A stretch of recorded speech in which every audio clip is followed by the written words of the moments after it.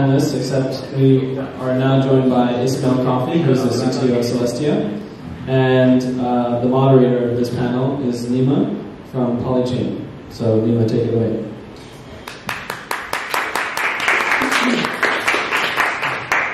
Thanks, Nick. Um, so yeah, great presentation. Um, but before we dive into some of more like super interesting stuff, I want to start off with um, um, sidechains and Polygon. So um, if we're seeing scalability happen um, with sidechains that are being deployed, um, why do we need zk rollups? Why do we not use zk rollups? And why do we get that availability? Um, sidechain, uh, well, the problem with sidechains and the Polygon bridge is that it's um, has a much bigger security assumption, or, or much much weaker, much weaker security model than rollups. Um, so, for example, with poly, with on the Polygon, to transfer them between ETH and Polygon, there's this bridge that relies on a few, uh, it's basically a multi-sig wallet with a, with a few, know how, many, was no, less than 10 probably, um, you know, signers, and those signers could potentially you know, steal everyone's funds on Polygon if they were to collude. You know, so far that hasn't happened, but I think is a very short-term solution because we're seeing um, hacks on protocol all the time, and it's only a matter of time um, before users realize this is not a good situation, and users will want more security for their funds because in the long term, it's more and more likely um, that, the, that hacks will happen on the bridge because it's using a multi-sig effectively. I fully agree. Um, so it, it, has two interesting uh, sides to it. The one side is that if you have more funds in the in, in, in the sidechain than the stake, uh, you actually have full incentive for the validators to um, to, to exit scam, you know, just to uh, uh, steal all these funds, especially if they believe that the token valuation at its speaking is not going to go on. Uh, so it's just pure, pure game theoretically, it doesn't make sense it's not a stable mechanism. You know, like in blockchains, we build stuff based on incentives, we based uh, based on game theory, which incentivize the right behavior. And here, people behave like against their best interest, essentially. Uh, but the second aspect is that it's notoriously hard to protect hotkeys on servers, and you need them for something like a sidechain. You need the service to be online and to store these keys in the memory of the service, and uh, you only need to hack a few of them in order to steal all these funds. And this is very hard, and it also provides plausible deniability, or like it can be an inside job, administrators of the service, or administrators of the cloud server, the cloud centers, like data centers that, that provide the hosting for them, can do the hack, uh, or can neglect their duties and then so on and so it's very shaky, to say the least. Yeah, uh, I think that's, uh, as you said, as you both said, to just summarize is that uh, we need ZK rollups or optimistic rollups um, to provide uh, similar scalability as like something that Polygon provides right now, but without uh, compromising, like too, too many compromises on security of the network. Yeah, and also like I understand like to the end user they can't see security, um, so we can't rely solely on the security argument. Like there has to be other incentives to use rollups and as let's say we're trying to create incentives other than security, even though that's a very strong incentive. And I, like, I genuinely, genuinely believe um, that if we make, you know, if we make it possible to deploy rollups or make it possible to, to deploy your own blockchain as easily as it is to deploy a smart contract, and then not only will that be more secure, but it will also be the preferred way because it's simply easier to create to create your own execution environment or to create your own chain than be bounded by you know, the very tight constraints of the EVM. Yeah, that, that totally makes sense. Um, so still on topic of security, if rollups uh, obviously for a better model, um, what failure scenarios do you see that could happen potentially? Yeah, I can start. So like, lots of things can, can go wrong. So you, we, we have to remember that this is all very new technology. Uh, so ZK rollups have been in production for a year. Optimistic rollups have not been in production ever. And there will be bugs, there will be uh, problems and security vulnerabilities, and people will find them, and we'll go through, through a number of vulnerability things, and we should just expect that. So we should not rely on a single um, line of defense. We should be layering our defense with multiple things. We should do a lot of stuff like um, bug bounties, like automated bug bounties, where we deploy systems with uh, some honeypot and let people crack it. Uh, and other things, and maybe insurance in the beginning to, to test things out before they uh, uh, enter full scale, uh, like before they become the alternative for, wealth financial system. So like the, the, the, only way to ensure that something is, is really secure is that if it's been in production for a long period of time and it's not been hacked, then the system can be considered secure. Billions of dollars have been there for one, two, three years. Uh, that you can, you can probably trust it. But if you make a small change in the system. You can already introduce, like, the, the, this is very interesting into the question, like how you deal with the upgrades, for example. But uh, expect turbulence and just like be ready for it.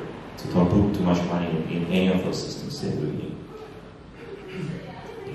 I would like to add just a tiny uh, um, additional thing that is specific to how rollups uh, are deployed right now. Is like um, if you have like a centralized sequencer, or um, in, in, both cases, like ZK rollups or optimistic rollups, it makes it easier, at least for short periods of time, maybe it makes it easier to censor or like halt the network. And um, so that's why I think it's also important that the uh, rollup chains are actually like real P2P network and real chains and not having only one centralized sequencer. Yeah.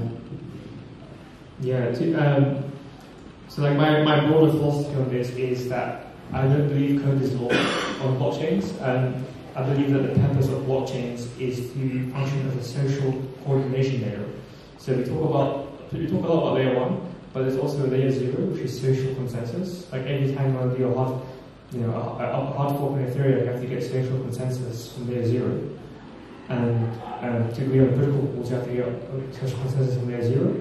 And back in 2000 and, and what, 16 when there was this massive DAO hack on Ethereum, you had to go back to social consensus and people and the Ethereum community agreed to hard fork um, effectively and reverse the hack.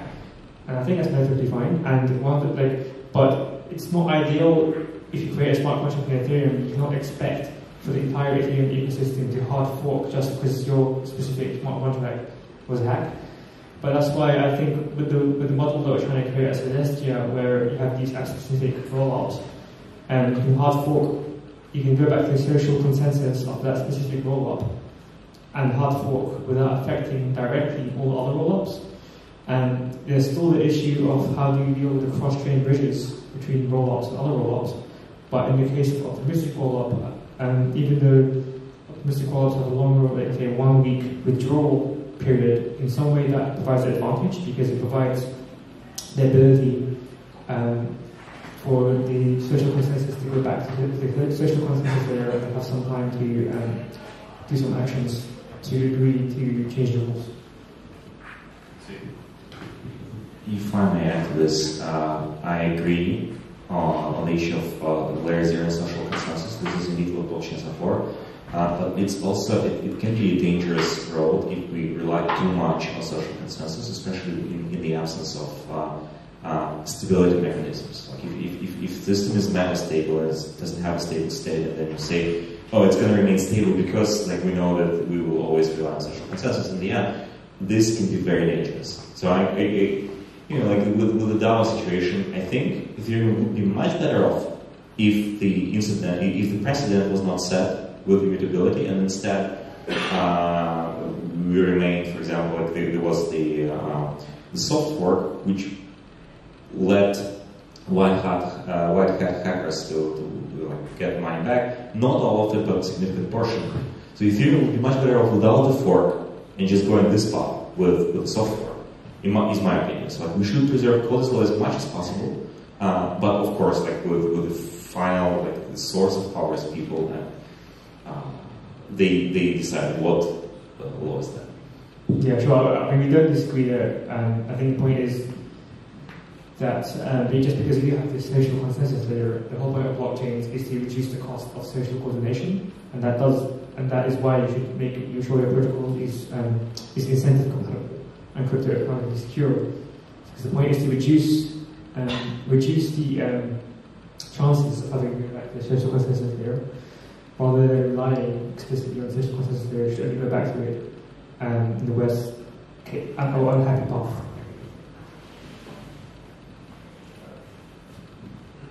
Yeah, um, one, one last thing to uh, bring up before we switch it back to the data availability and rollups is a tangent to this is how on-chain option governance happens.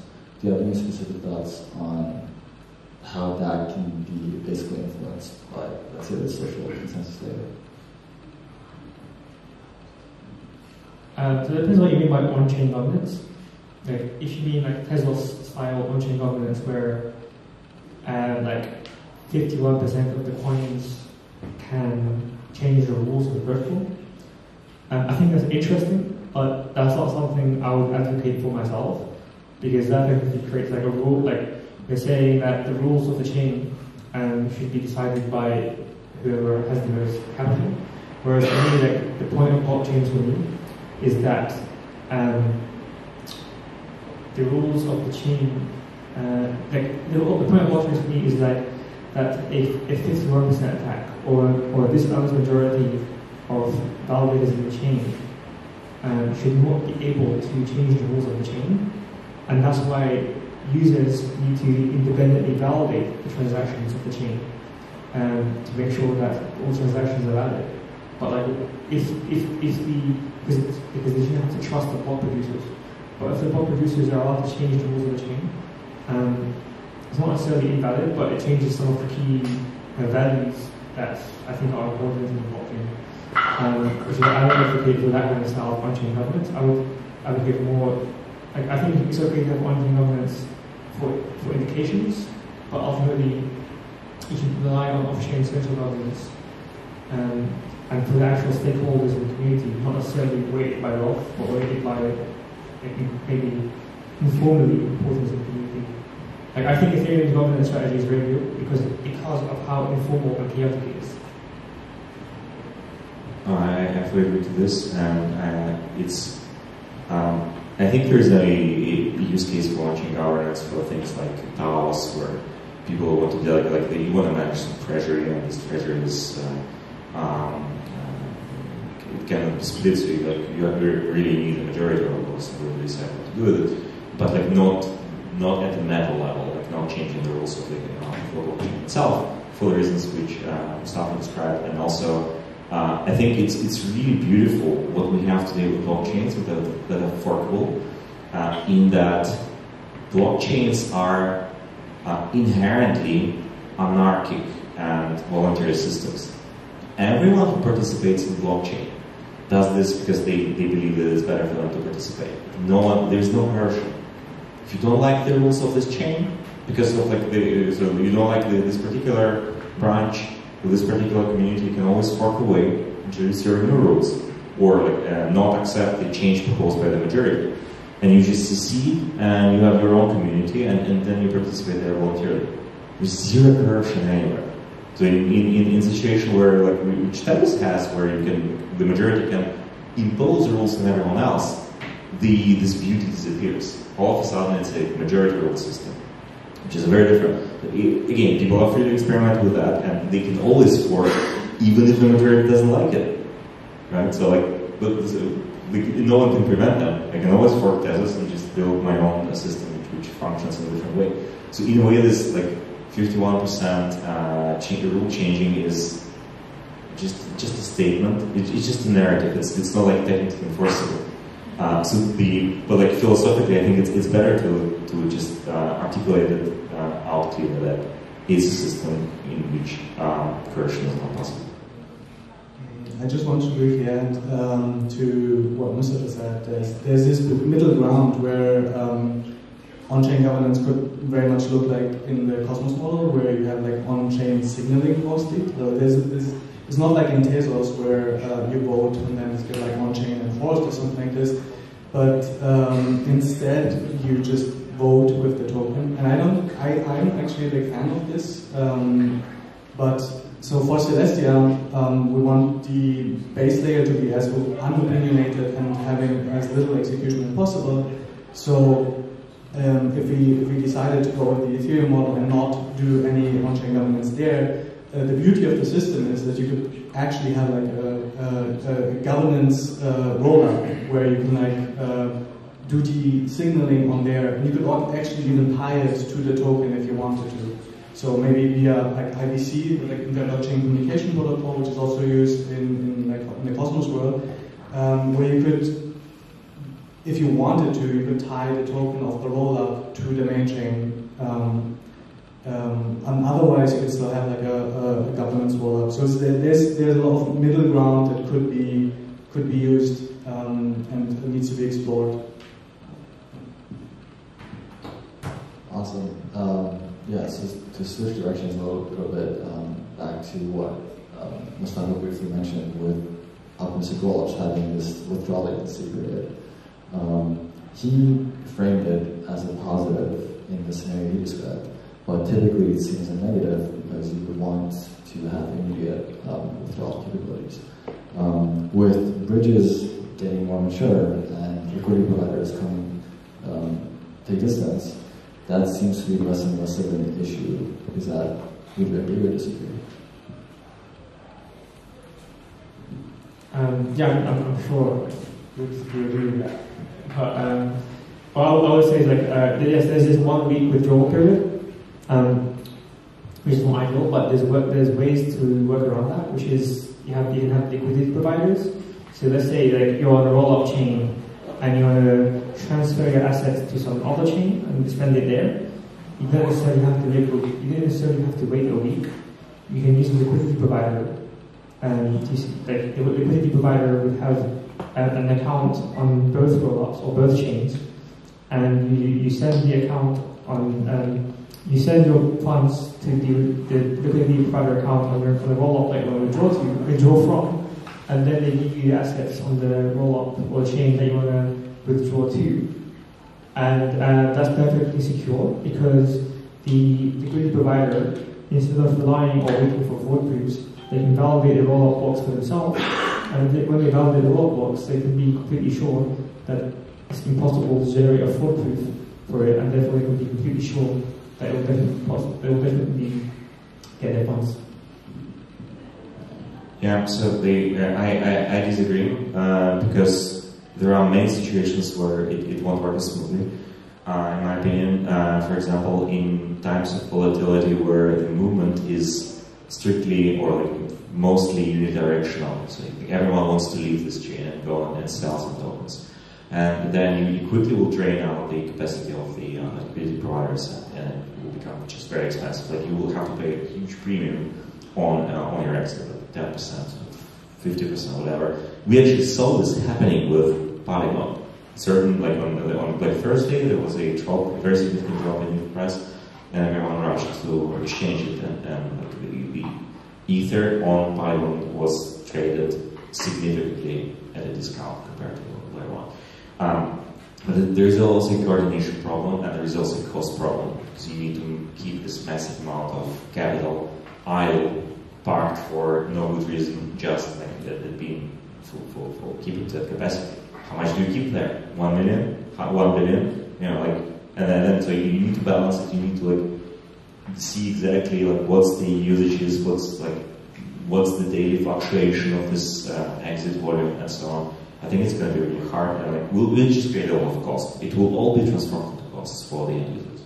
Yeah, yeah, definitely trade-offs, but but but, but the scenario describing is the same scenario that could is a scenario where um, users cannot withdraw their funds quickly enough. But the same scenario can also happen in ZK Porter, for example, in the case of a malicious um, data availability committee, which refuses to, transfer funds. Yeah, but not ZK rollup. So ZK Porter has its own security parameter. Like if we compare uh, two rollups, we should compare ZK rollup to optimistic rollup not optimistic rollup to ZK Porter, we should compare Sure, and there's definitely trade, trade-offs. Um, so I'm not, uh, I'm not going to claim like, I, I believe in both ZK and optimistic rollups, and there's trade-offs between both. Like, I'm not a max, I'm not optimistic rollup max, maximalist or anything like that. But I, would, but I will also say that um, in the Celestia model, um, because in Ethereum rollups, the fault proofs are posted on chain, onto the Ethereum chain. But in the in the um, Celestia model, we envision a model where you can have sovereign rollups that are sort of like like chains in their own right. Um, and so the fault proofs within don't need to be posted on chain, but can be distributed within the peer-to-peer network of that rollup sub-network. And because you distribute the fault proofs within this peer-to-peer network, you have a much much lower challenge period um, within that within network because there's a much lower network synchrony delay to distribute a fault proof within a peer-to-peer network than than there is to actually post it on chain and wait for a miner to accept that. Um, so that you can you can be like you can reduce the challenge period like 10 minutes for example. However, you still have the challenge period with with, with, with cross-chain bridges. Like if you want to actually um, transfer your rollup from one from the rollup to another different chain, you still have this, you still have this one week know, withdrawal, withdrawal period. So there's definitely trade-offs.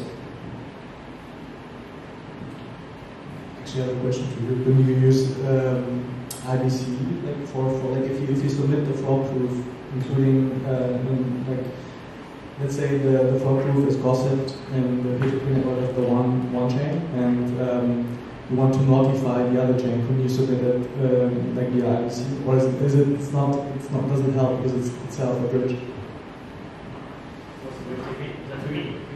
What, so what is the question about? So if you, if you can submit if you can submit um, the fraud proof that is gossip in the peer-to-peer layer of the of one chain, if you can submit it via IBC to like to the other chain, like use leverage IBC to like submit the fraud proof somewhere that is like available to you invisible instead of like waiting.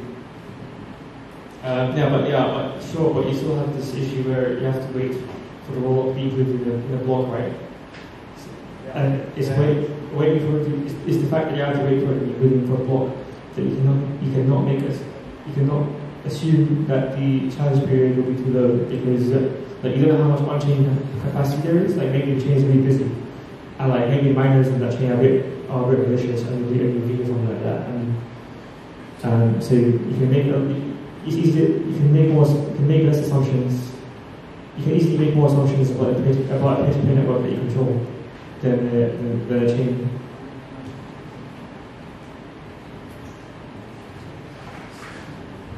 Yeah, so the follow-up question I want to ask um, that um, is relevant to withdrawals or liquidity providers between rollups. Um, are there any specific advantages that ZK rollups have over optimistic or vice versa that deal specifically with non-fungible assets? Because we're seeing NFTs becoming more and popular through in-game assets or otherwise.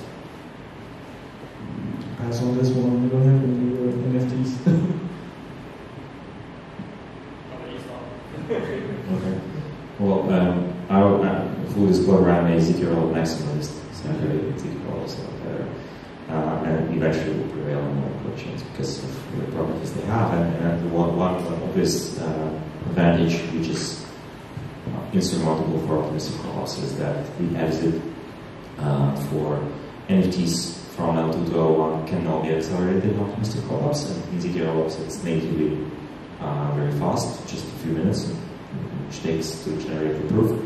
Um, and uh, apart from that, uh, I think that you, like with NFTs are inherently a very popular movement, and you're gonna have a lot of NFTs. Like it's it's a um, it's something that caters very much to the mass audience, and you're gonna have a lot of NFTs. Only a fraction of them is to be variable. Most of them are not to be variable. So you, you like rollups have a cost because they provide this high level of security. Uh, so they're very well suited for DeFi, high value transactions, but not so much for these micro transactions.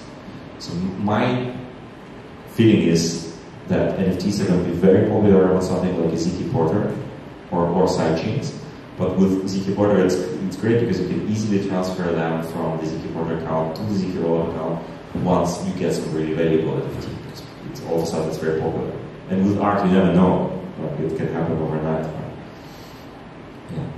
Yeah. I mean, uh, yeah, I agree. I, I, can use NFTs as both optimistic and um, ZK rollups.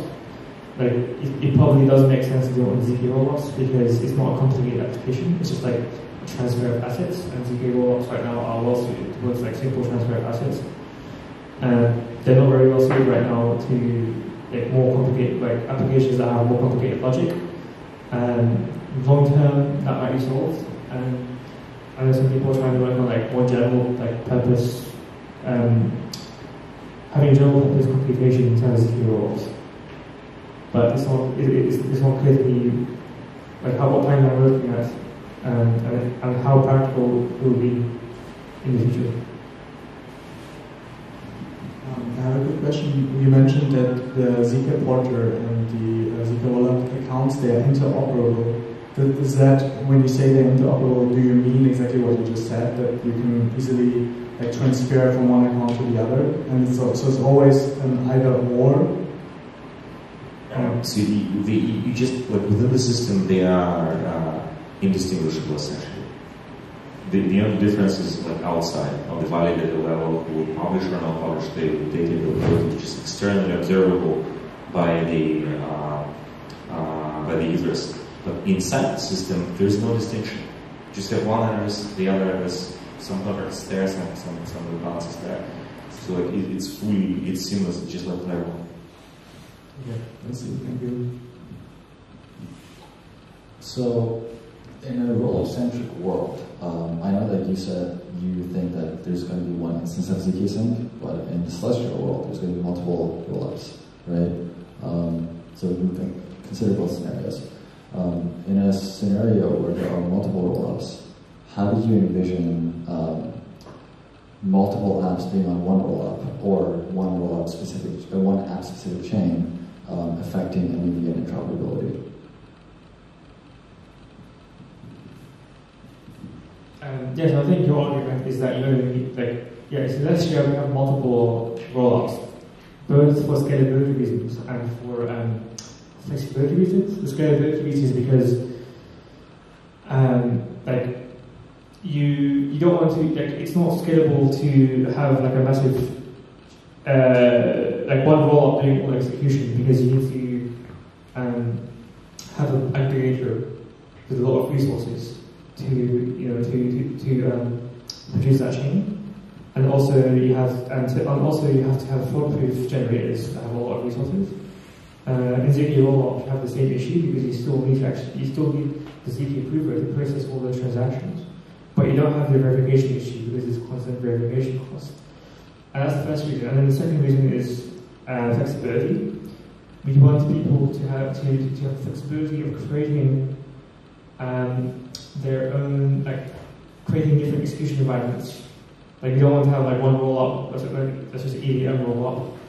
I mean, you could like someone can create it. Like someone can definitely create it on Celestia. Um, but like we don't want to we don't tie to that model. We want people we want be, to, have, to be able to have people create their own execution environments to be able to innovate um, different ways. Um, but uh, I'll let you about my understanding is like with ZK, with zkSync, it's like you're only targeting, if you're only targeting one application, which is, which is payments, there's not much to have flexibility in different execution environments because like, pay, like there's only one way to do payments. There's not that much flexibility. Like, if, if, if, if the application is an asset transfer, there's not much need to have different execution environments for that. Yeah, this is true, but then you normally don't just want to do transfers. You want to do transfers within. You want to remain within the ecosystem. So think from the user perspective. You have one wallet, have some some some balance in it.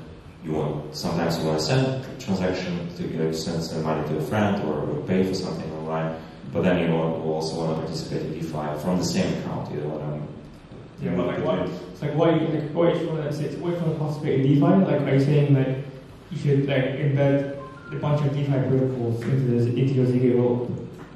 Well, uh, we, we're going to build a generic rollup where you can deploy anything, right? So that people can deploy smart contracts or like it's custom. Yeah, yeah. So they, they, people can deploy smart contracts, of course. Like any EVM smart contracts, they can transfer things, but they can also invoke contracts and they can program logic in contracts and the more interesting question is like, do we want to experiment with the uh, different execution environments, EVM or non-EVM compatible? And uh, this is a really big question, and uh, it, it's not the best language, it's not the best API, but it's, it, it got sticky. It's actually terrible in many ways, but it got sticky, and now it's, it's, it's the standard. And there is no question. Like no, no one is coming with browsers uh, uh, that support alternative APIs. And very much supports JavaScript and, and DOM and uh, standard HTML uh, things, right? So I'm afraid we're at this point with EVM. At least for the observable future, it will be this. There is no like EVM compatibility will be this lingua franca of blockchains. That, that's why we, we are on it. Um, yeah, I'm, I'm, I very strongly believe that there's like the necessity to like innovate and experiment with different things, especially like MEV, for instance, mentioned. You cannot come up with a perfect solution in all cases, and it's, uh, the beauty like in Celestia is that you can like um, have different, literally have different roll-ups that deal differently with this.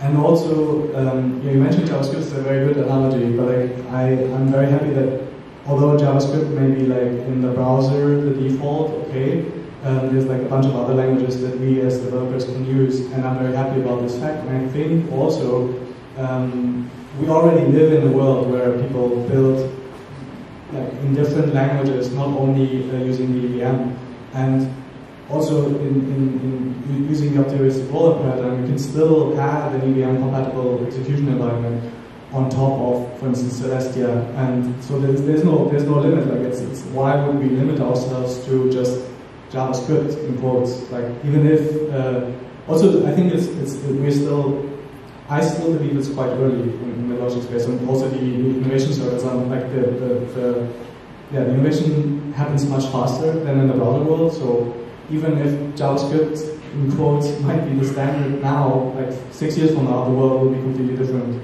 and um, I think that's a good thing. Yeah, so it's, it's also not just about language, it's also about resource pricing. Um, so it's like, with JavaScript, I think it's a bit different because uh, like people have created all, all kinds of things to make JavaScript more palatable, like you know, jQuery, jQuery and like, languages that compile, you can compile C to JavaScript, like there's all these like, like stuff on top of it, like the JS and CoffeeScript to make it more powerful. Um, but that works in JavaScript case because um, JavaScript runs locally on people, or JavaScript doesn't, doesn't run on a global shared machine. So you can do all these like abstractions that, that, that can be done on local machines or within the browser, but it's much more difficult to do that on a world computer like Ethereum. And like I implemented like elliptic, I implemented like elliptic um, elliptic curve crypto libraries with these. Like the, the gas cost is 2 billion gas, for example, uh, and there's no way for me to optimize that, um, like without convincing like, like the Ethereum community to do, to do a hard fork to introduce a new opcode. Um, so it's much like, there's a lot of like stuff you have to do to introduce, if you want to optimize it. Like people have optimized JavaScript a lot on the browser level, um, but when you do that on Ethereum, specific things that are more expensive, if you implement native on Ethereum, you have to do hard forks to use new opcodes to do that. Just to make it like, even just to make it performant. Cool. Um, I'm going to ask one last question before we open up the audience, um, which is, what is your long-term vision for the crypto ecosystem as a whole, uh, and how do you envision Celestia or zkSync uh, playing into that, specifically with respect to privacy, transparency, and user adoption. I'll start with you guys. Sure. So, like, zkSync is a mission-driven project. The mission is to bring crypto to the hands of everyone in the world. Uh, it's just a question of how. It's not a, it's not a question of whether or not it will happen. It will happen. It's like we have to figure out how to do it exactly. So we will start with what we have now. It will bring us to some uh, multiple uh, of the users potentially possible on Ethereum today. So it will probably bring us to like millions, um, like hundreds of millions of users. Not billions yet, but eventually we'll, we'll, have to get to billions. Uh, uh and uh, yeah, so the, it just can't see a world where this is not happening for a variety of reasons. For from from the social uh, perspective, like, like, there's a huge demand for this. There's a demand. Uh, like this is a problem many people have and don't know they have it. Uh, and there will be more events in the traditional finance world that will push people towards this development, will make them embrace this. Um, uh, uh, technologies more, uh, and, and, also the young generation, like the Gen Zers, are just like very uh, token and crypto native. Like they're not just internet native; they are already like token native. Right? Like generational shifts from now, the majority of people in the world will be just like natively exposed to that. So it's it's just inevitable.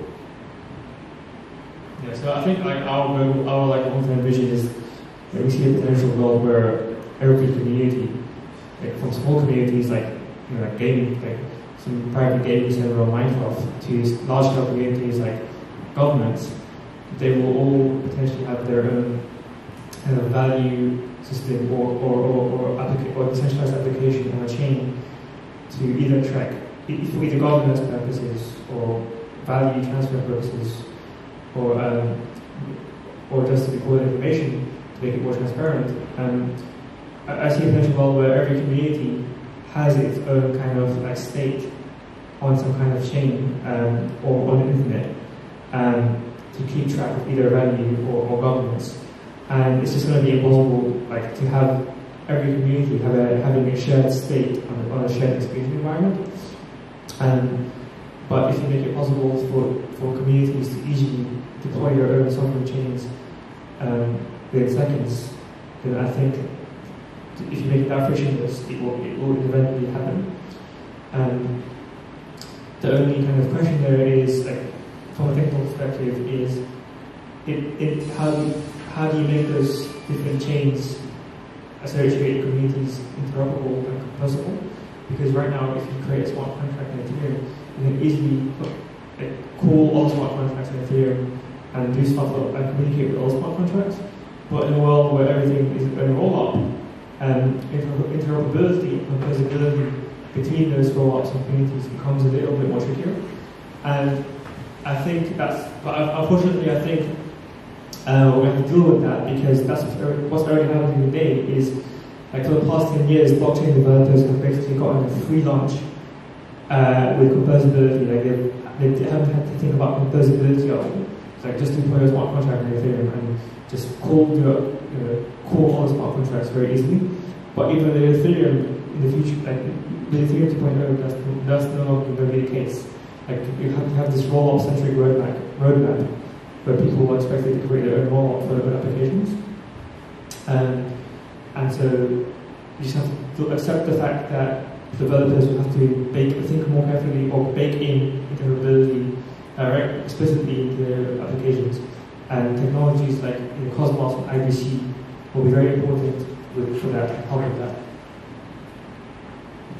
Yeah, I'm, very much aligned with like what um, Mustafa's vision is. I, am just adding, I just want to add that I think it's not a like mass adoption and these global communities and that interoperate with each other is not just something we want to push or is like nice to have from a technical perspective or is like because people are already crypto native or whatever, but I believe that um, eventually, like something, like some form of like global coordination across communities is also like a necessity for, for uh, us like as a, as a global society. All right, thanks for your answers, and we can open to the floor for any questions, if you have any. I have one.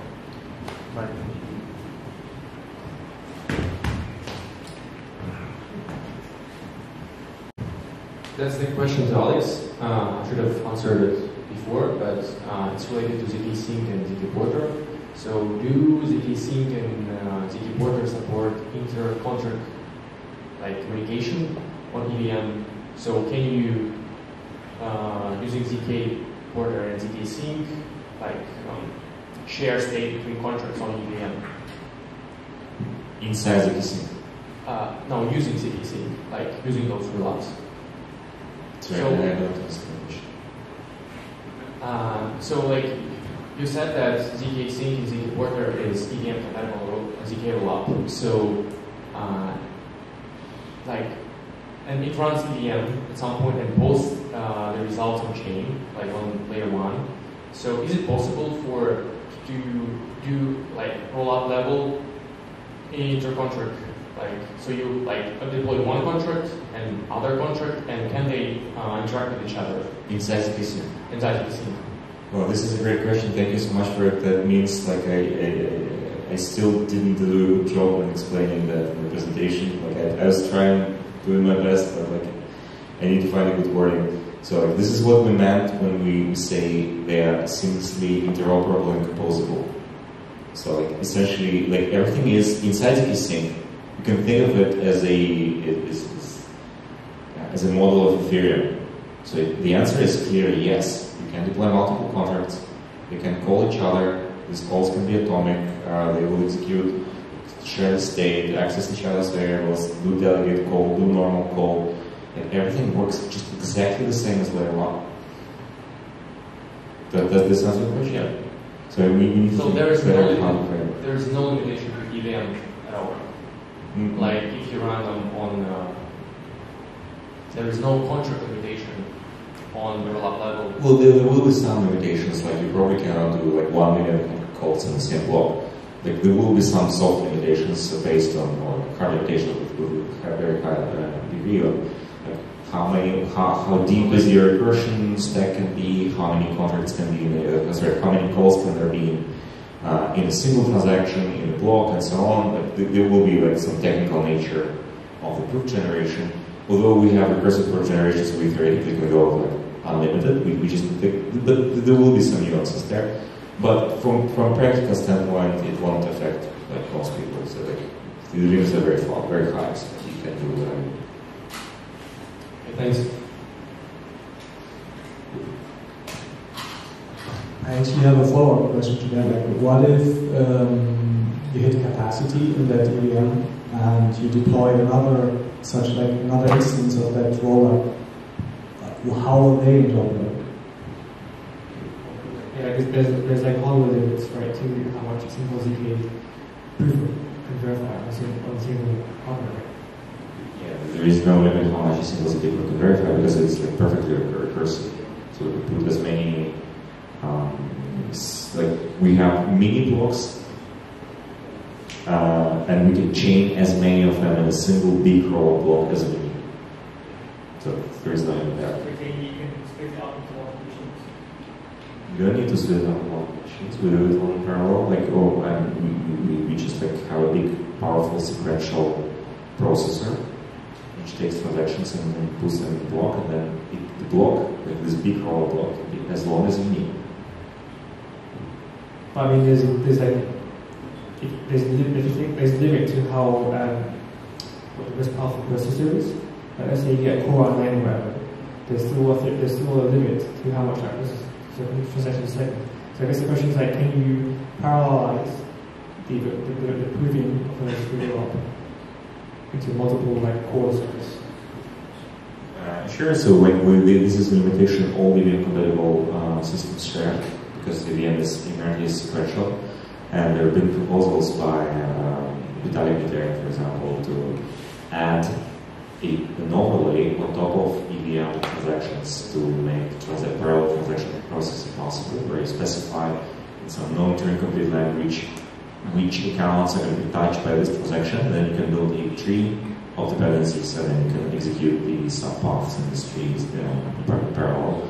Um, and this can be added, and this will probably happen in the future. Like the, the, this is a pretty far future because for now, the bottleneck of EVM uh, compatible chains, like essentially Geth and everything which is based on Geth, is not the CPU, it's not the bandwidth, it's the uh, random storage access.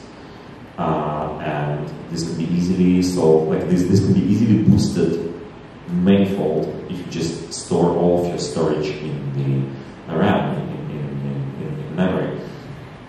You disagree? But uh, what this will give you is requirements for running the processor node will be very high, which is okay for ZK rollups, which is not okay for optimistic rollups. So for, for, for ZK rollups, it's perfectly fine. Yes, we have high requirements for running a node. You have to run it in a, on a very powerful machine with lots of CPUs and lots of memories. Uh, and you cannot do anything wrong anyway, because you, you, you will produce the, the proof, and you will share this proof with everyone, with, with like it will be reflected here. But I agree, this won't work for optimistic rollups, because everyone should be able to run a full node on their consumer hardware, and then you, you cannot have this limitation. So is the idea to have multiple recursive um, ZK proofs inside a single uh, of ZK You have multiple recursive ZK rollups inside multiple ZK rollup. It's like, so you have multiple recursive rollups in a single rollup, and that allows you to parallelize the execution of that rollup, assuming that EVM can be parallelized. You could do that if you wanted. You could build a hierarchy of uh, chains where you, like essentially shards, where you execution each of the shard and then you aggregate them recursively. This is possible. We use CraftCD in the original ZK Porter post. Um, but uh, and, and, this will probably indeed happen. So it's some some of the um, application specific, community specific. Uh, uh, systems will, will, will be like this, like games. They will have their own shard, and the, the, the most transactions happens within the shard.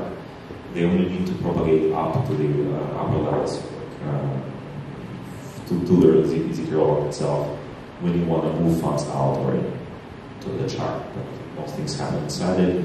No one else will need to know except for the proof of the block. So yeah, I agree. Yeah, um, on zkSync, relative to Ethereum, is could like uh, could the validator or the aggregator do MEV worse or less? More MEV or less MEV? Uh, so the, the, the all rollups are like pretty equal in this regard. If you don't address MEV problem specifically, then you're down to your sequencer. Like whatever MEV uh, miner extraction the sequencer allows, that's what you have. You have a centralized sequencer, they can do whatever they want. You can form blocks in any way, and you can do transactions they will do what they want. And it's a question how you deal with this. If you have a decentralized sequencer, it's a question of how you structure it.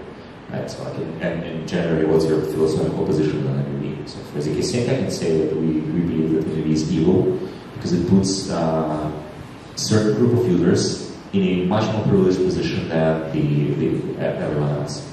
And this is what blockchains are uh, against. Right? So you want, you want to have equal rules. So imagine Ethereum miners. The mining pool operator has a lot more power than, uh, than the um, whoever provides the, the mining shares. Like they can do it in a secretive manner so that no one notices immediately and they get all the profit to themselves, right? And they, they don't share it with, with the um, mining hash, like with, with the actual miners and the miners cannot hold them accountable, unlike just distributing rewards. So for zkSync, as long as uh, there is a single sequencer which is centralized, uh, uh, the operator just guarantees that there will be no MEV. Like transactions are going to be uh, served on first come, first, first served order. Uh, with a decentralized sequencer, we'll have small, uh, low latency blocks within a second uh, so this will lower the window of opportunity to reorder transactions because you need to provide the confirmation as soon as possible. And in the long run, we'll have something like uh, uh, time-locked encryption to prevent censorship and MEV altogether fundamentally. Because the, the, the, miners won't even know what they're signing, what, what's going on until it's uh, finalized. What's your No, I was wondering how you're doing the time and uh, another question. Yeah, we just have one more question left.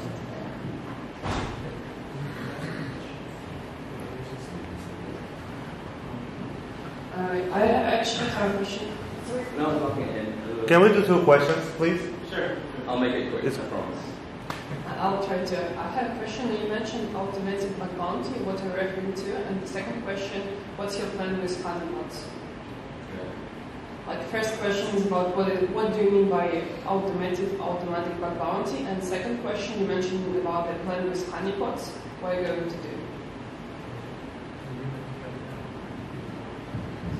It's the same thing. So like automated bug bounty is just a contract which has some money in it, and if you crack it, you get it. So like this is, or you, you could you could do like more stuff. Like if you if you find a vulnerability in this contract, then and you can prove that there's a vulnerability in some way, like for example, you can destroy it, not just steal the funds from it, but if, if you like, if you have a separate contract which points to this one, and it will release the the bounty to whoever can prove that they destroyed this contract, they executed the transaction that, that led to destruction. Uh, this would be something like this. Like this, this will provide you more um, certain. Like if, for you as a as an exploiter or white hat hacker, like hacks around, it will be very guaranteed uh, rather than relying on reputation and trust in the project owners who might or might not give you the bounty.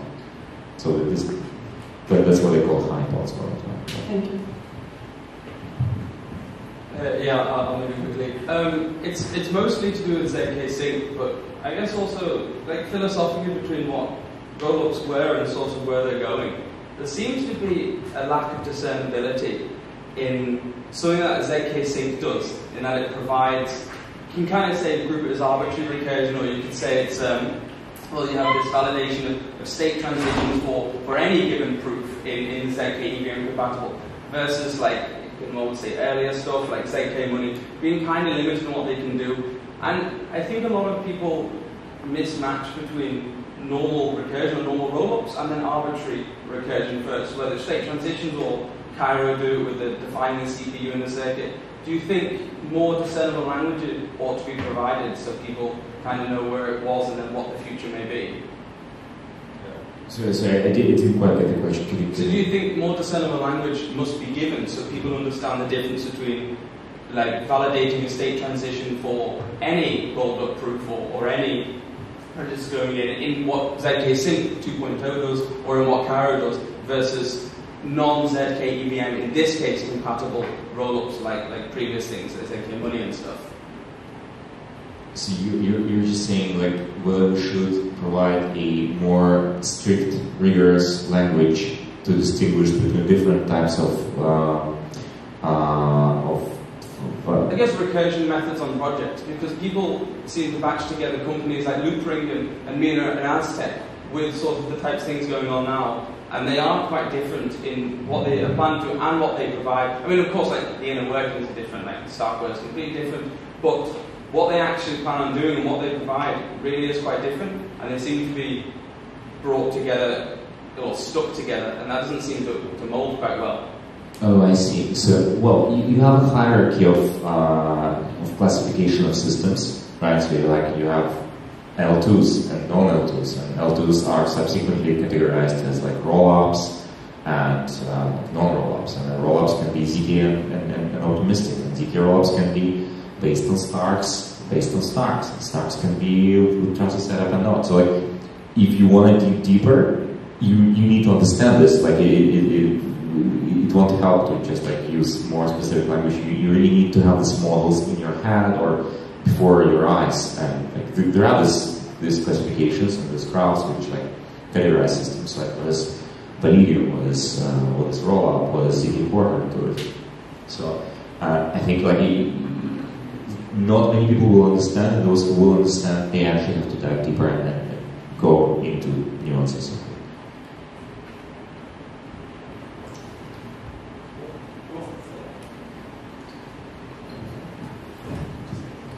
All right, uh, let's have one last round of applause for all our panelists.